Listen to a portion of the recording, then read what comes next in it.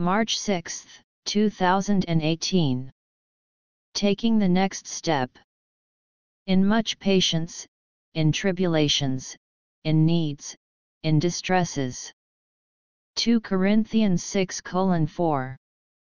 When you have no vision from God, no enthusiasm left in your life, and no one watching and encouraging you, it requires the grace of Almighty God to take the next step in your devotion to Him, in the reading and studying of His Word, in your family life, or in your duty to Him.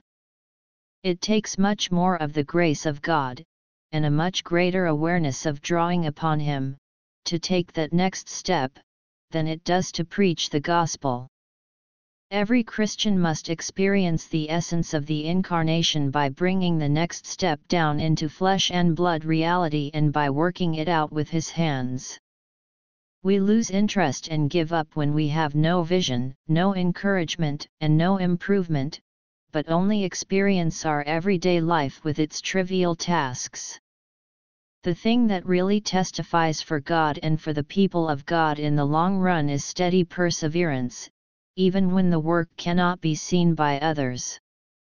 And the only way to live an undefeated life is to live looking to God.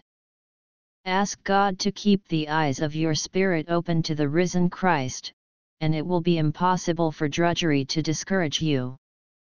Never allow yourself to think that some tasks are beneath your dignity or too insignificant for you to do, and remind yourself of the example of Christ in John 13 1 17.